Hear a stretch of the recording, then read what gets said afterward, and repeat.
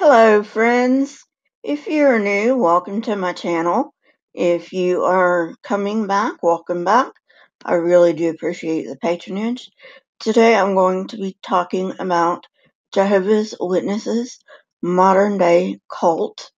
And yes, Tony, it is a cult, no matter what you think or say. Let's go.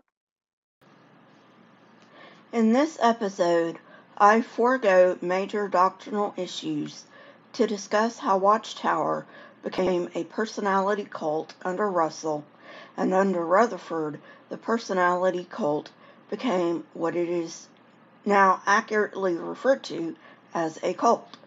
I don't care if you like the term, Tony. Watchtower is a cult, and this episode shows why.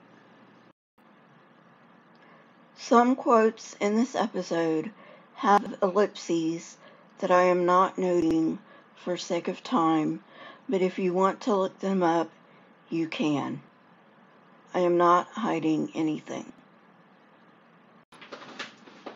Both during his life and after his death, he was idolized by his followers, as can clearly be seen in the following quotes.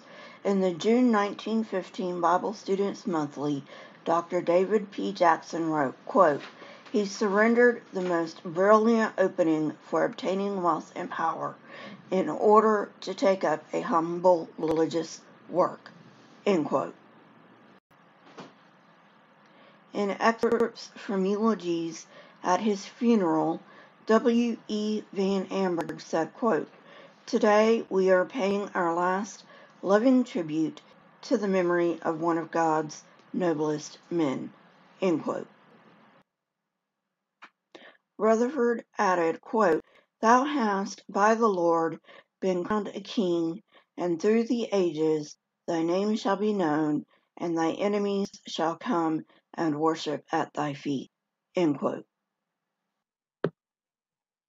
At the same time Russell was being eulogized, the society was being described in terms that depicted itself as his collective successor.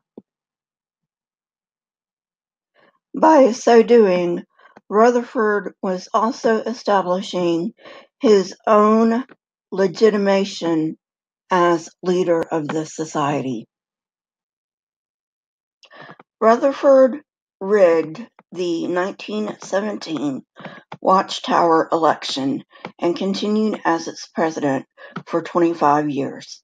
He immediately removed the directors that Russell had appointed. He lived in luxury even during the Great Depression when people had to scrape together money just to eat and live. He needed to challenge the doctrine that Russell was the servant before he could change Russell's teachings. This attack began in 1926. From that point on, the organization took Russell's place as the faithful and wise servant, or the faithful and discreet slave, and the mouthpiece of God. In short, from then on, Rutherford's organization, not Russell, was to be worshipped. Because he had ousted all of Russell's supporters, he had total control and power. Only the membership thought otherwise. People at headquarters knew that Rutherford was in total control. It was now the quote unquote theocratic organization that would give spiritual direction, and Rutherford began a totalitarian reign that was totally foreign to Scripture, complete with the restrictive rules, regulations, and dogma that still govern Watchtower today. In the 1930s, congregations increasingly lost their autonomy to the organization. By 1938, every bit of autonomy of the local congregation was gone, with the organization assuming power to make all local appointments.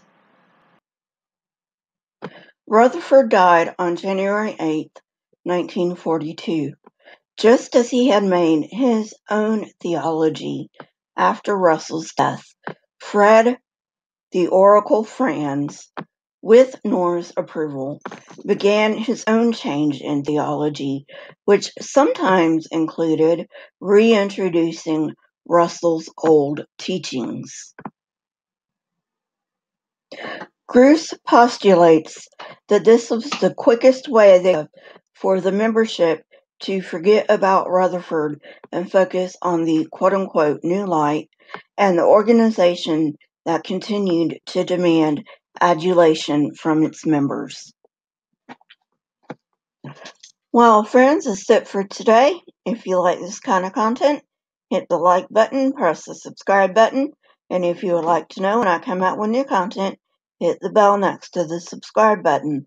My Twitter, Discord, email, and PayPal links are in the description, along with the source that I used for this video. If you wish to support this channel, you may do so on my PayPal link.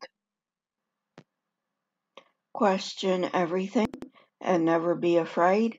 Here are a few videos from my library. If you have not watched them yet, go ahead and watch them and tell me what you think. Until next time, friends, goodbye.